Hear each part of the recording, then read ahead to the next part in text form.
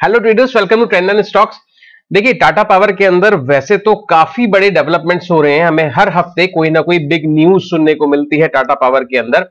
लेकिन सबसे बड़ी बात है कि देखिए, जब सरकार एक बड़ी कंपनी को अपने प्रोग्राम्स के अंदर इन्वॉल्व करती है, यानी कि सरकार देखिए आपने आम जन तक कोई सर्विस पहुँचाने के लिए, कोई प्रोडक्ट पहुँचाने के लिए जब अपने ही देश की किसी बड़ी कंपनी के साथ करार करती है तो वो दोनों के लिए बहुत बड़ी बात होती है मतलब कंपनी के लिए भी और ओवरऑल अगर आप देखें सरकार के लिए भी। यहाँ पर ऐसे ही कुछ होते हुए दिखाई दिया है इस न्यूज़ के अंदर, जो मैं इस वीडियो के अंदर आपके सामने लेके आ रहा हूँ, जिसमें सरकार की ई गवर्नेंस आर्म जिसको सीएससी कहा जाता है, उन्होंने टाटा पावर के साथ में एक बड़ा कोलैबोरेशन करने का अनाउंसमेंट किया है, जिसके तहत वो हमारे रूरल सेक्टर के लोगों के लिए सस्ती और रिलायबल पावर अवेलेबल कराएँगे। तो, तो देखिए क्या वो न्यूज़ है? वो सारी चीज़ें मैं आपको एक आर्टिकल के थ्रू दिखा रहा हूँ और इसी के हिसाब से आने वाले ट्रेडिंग सेशंस के अंदर यहाँ पे क्या कुछ पोजीशनिंग बनती हुई दिखाई दे सकती है? हालाँकि देखिए, ये न्यूज़ है 15 अप्रैल 2021 की और उसके बाद एक अच्छा खासा मूव हम लोग टाटा पावर के अंदर देख चुके हैं।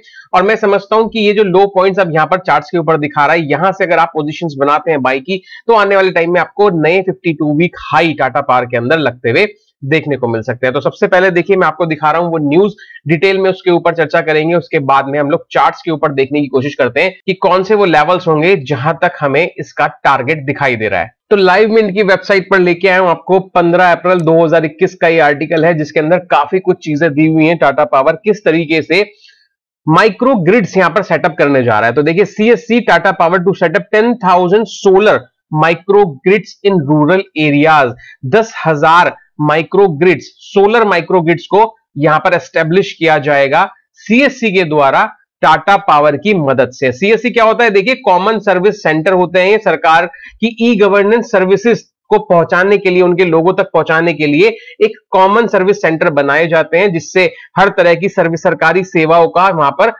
बेसिकली लाभ मिल सके।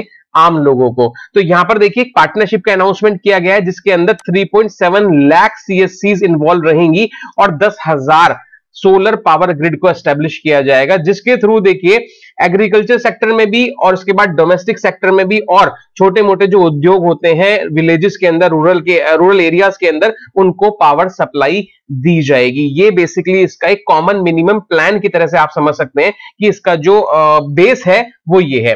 देखिए यहाँ पर आगे क्या लिखा है? CSC e governance services India managing director Dinesh Tyagi said that the collaboration with amplify the government's ongoing campaign to provide clean and sustainable energy to household and businesses in rural areas तो ये motive है इस चीज़ का कि household and businesses को clean and sustainable energy provide कराई जाए। अब देखिए ये सीधे सीधे क्या कुछ इंपैक्ट कर रही है कि this will help rural customers move away from burning relatively expensive fuels such as kerosene and can provide basic energy services and meet economic needs kerosene oil का अभी भी इस्तेमाल होता है एज अ फ्यूल और जो बहुत ज़्यादा एक्सपेंसिव है वहाँ से शिफ्ट करने के लिए वहाँ से उनको सोलर एनर्जी पर शिफ्ट करने के लिए बहुत ज़्यादा मददगार साबित होगा। इसके बाद देखिए यहाँ पर under the partnership over 3.75 lakh CSC will be provided in supplying solar water pumps to farmers and help in setting up microgrids in residential commercial establishment in rural area solar pumps यहाँ पर establish uh, करने का plan है 3.75 लाख सीएससीज के द्वारा। जहाँ पर देखिए इस बेसिकली सोलर पावर ग्रिड का यूज़ किया जाएगा। तो ये जो ट्विन साइड में पार्टनरशिप हुई है टाटा पार्क की एनसीएससी सीएससी की, यहाँ पर एम्प्लॉयमेंट जनरेशन की भी बात निकल के आ रही है कि अप्रोक्सीमेटली ट्वेंटी थाउज़ेंड जॉब्स निकल के आएँगे, क्योंकि एक पंचायत में से, एक विलेज पंचायत में से दो लोगों को चुना जाएगा जो इस काम के अंदर इन्वॉल्व रहेंगे। और दूसरा जो इंपॉर्टेंट चीज़ है कि कंपनी को भी, यानी कि टाटा पावर को भी यहाँ से कहीं ना कहीं बिज़नेस मिलने की पूरी पूरी उम्मीद है, जिससे वो ज़्यादा से ज़्यादा एक्सपेंड कर पाएँगे। तो एक तरीके से आप कह सकते हैं कि जिस तरीके से इतने सारे डेवलपमेंट्स हो रहे हैं, अभी नेस्को के साथ उड़ीसा में इन्होंने एक जो लेटेस्ट डेवलपमेंट किया था, वहाँ पे भी देखिए ट्वेल्व मिलियन से ज़्यादा इनके कस्टमर्स हो गए हैं अब टाटा पावर के।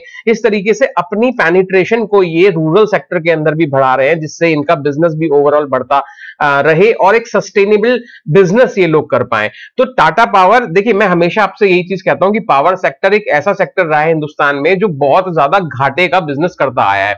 और इसीलिए देखिए, अगर आपको पावर सेक्टर के अंदर पैसा इन्वेस्ट करना हो तो आपको बड़े लेजेंड्स के साथ ही रहना चाहिए जिनके स्ट्रक्चर स्ट्रांग है। और ओवरऑल अगर आप देखें पावर सेक्टर में तो मुझे सिर्फ़ और सिर्फ़ 100 परसेंट कन्विक्शन जो आता है, वो टाटा पावर के साथ ही आता है। जिस तरीके से इनका जो मैनेजमेंट है, बीते कुछ महीनों के अंदर हमने देखा, बहुत बड़े डेवलपमेंट्स हमें देखने को मिले हैं। इनफैक्ट एक साल का अगर इसकी ट्रैजेक्टरी देखें टाटा पावर के तो तकरीबन ढाई का इजाफा इसके शेयर प्राइस में हो चुका है। मई में आप देखिए सत्ताईस रुपए का ये स्टॉक हुआ करता था, जो अब इसके अगर 52 वीक हाई देखेंगे रिसेंट में जो इसने लगाए हैं, मार्च 15 मार्च के आसपास, वो 115 रुपए के हैं। तो यहाँ से काफ़ी अच्छा मूवमेंट ऑलरेडी यहाँ पर आ चुका है। उसके बाद देखिए, ये गिरावट ज़रूर हुई कंसोलिडेट भी हुआ। लेकिन यहाँ पर अब वापस से संभलता हुआ दिखाई दे रहा है। आरएसआई के हिसाब से देखें तो इसने अपना एक बेस तैयार किया और बेस बना के वापस से ऊपर की तरफ़ निकलना शुरू हो गया है।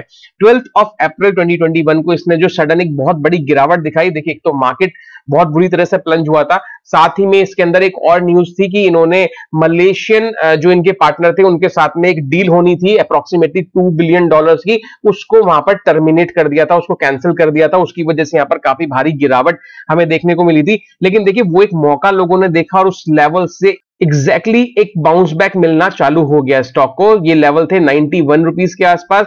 वहाँ से देखिए अब वापस से अपने 50 डेज़ के एक्सपेंशन मूविंग एवरेज के आसपास क्लोजिंग देने में कामयाब हुआ है।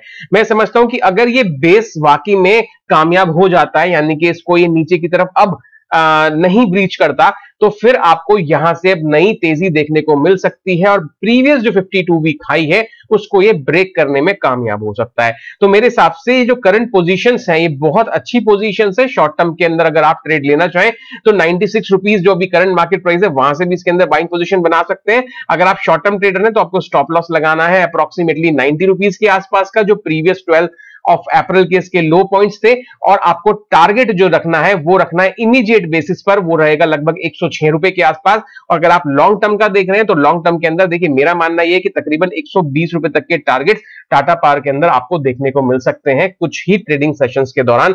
अगर मार्केट में कोई नई कंडीशंस ऐसी नहीं आती हैं कोरोना वायरस को लेके कि मार्केट वहाँ पर देखिए, बड़ा डेक्लाइन दिखा दे। हालाँकि केसेस हर दिन बढ़ रहे हैं और इस वक्त दो लाख साठ हज़ार से ज़्यादा केसेस पिछले 24 घंटे में दर्ज किए गए तो मार्केट में घबराहट होना लाजमी है, गिरावट होना भी लाजमी है, लेकिन देखिए, ये कहीं ना कहीं एक पीक ज़रूर बनेगा, आज नहीं बनेगा तो पंद्रह दिन, बीस दिन, एक महीने बाद बनेगा। तब कभी ना कभी स्टॉक भी संभलता हुआ आपको ज़रूर नज़र आएगा। तो इस तरीके से देखिए टाटा पावर को आप अपने पोर्टफोलियो में ऐड कर सकते हैं। सजेशन मेरा ये रहेगा कि लॉन्ग टर्म का पर्सपेक्टिव रखिए, तभी आपको ज़्यादा प्रॉफिट होने के चांसेस टाटा पावर के अंदर मिलते हुए दिखाई देंगे। तो इस वीडियो में फ़िलहाल इतना ही। ये वीडियो अगर आपको अच्छा लगा तो प्लीज़ लाइक और शेयर ज़रूर कीजिएगा। और अभी तक आपने ट्रेंड स्टॉक्स को नहीं सब्सक्राइब किया तो प्लीज़ सब्सक्राइब करें। बराबर में दिया बेलाइकन ज़रूर दबा दें, जिससे अपनी कोई भी वीडियो की नोटिफिकेशन मिस ना कर पाए। मिलूँगा आपसे एक नई वीडियो में नए स्टॉक के साथ। तब तक लिए नमस्कार। थैंक यू जय हिंद।